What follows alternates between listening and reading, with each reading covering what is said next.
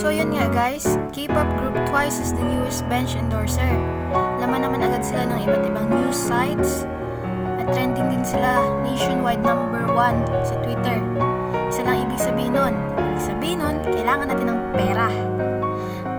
Willing naman tayong gumastos talaga para sa kanila. At uh, eto naman yung mga relatable na reactions nung nalaman na confirmed na sila talaga yung bagong endorser.